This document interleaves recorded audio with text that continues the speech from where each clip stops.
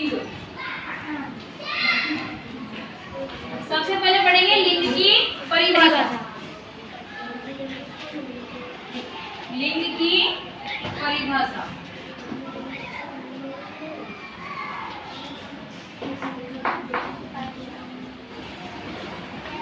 शब्द का वह रूप,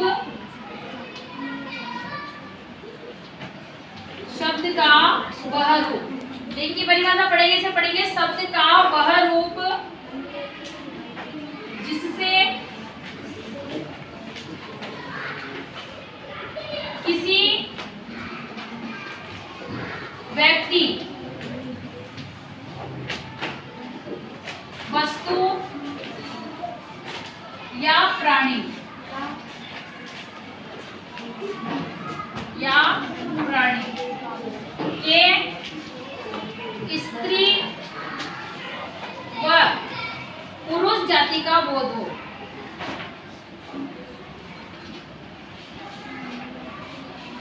का बोध हो। उसे लिंग कहते क्या कहते हैं उसे? लिंग। लिंग कहते हैं।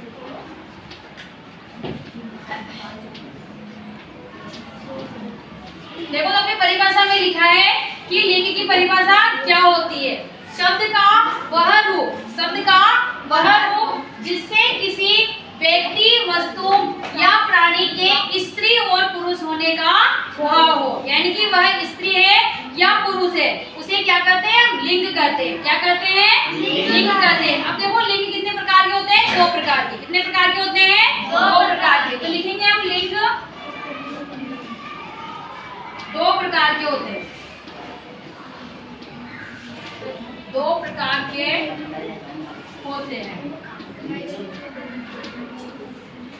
पहला है पुल्लिंग और दूसरा है स्त्रीलिंग लिंग के दो प्रकार लिखे अपन ने, पुल्लिंग और स्त्रीलिंग सबसे पहले लिखेंगे पुल्लिंग की परिभाषा की पुल्लिंग क्या होते हैं।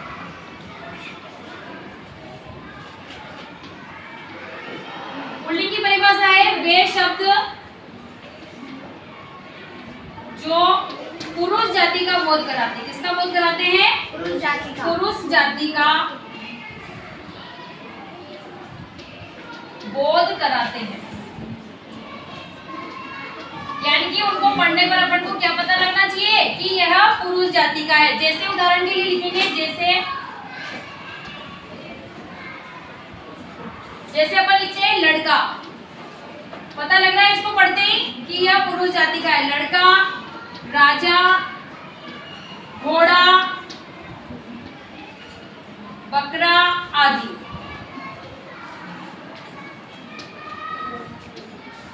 तो आया यहाँ तक समझ में? सबसे पहले अपन ने पुल्लिंग की परिभाषा लिखी कि वे शब्द जो पुरुष जाति का बोध कराते हैं, जैसे उन्हें क्या कहते हैं? पुल्लिंग कहते हैं। जैसे लड़का, राजा, घोड़ा बकरा आदि। इनको पढ़ने पर ही हमें पता लग रहा है कि यह पुरुष जाति के हैं तो किसके अंतर्गत आएँगे ये?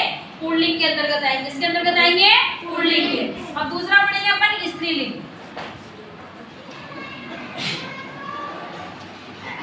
स्त्रीलिंग की परिभाषा लिखेंगे, वे शब्द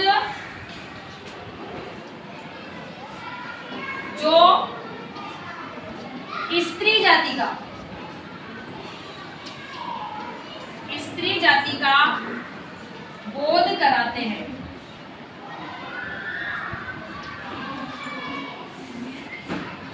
उन्हें स्त्रीलिंग कहते हैं। क्या कहते हैं उन्हें? स्त्रीलिंग कहते हैं।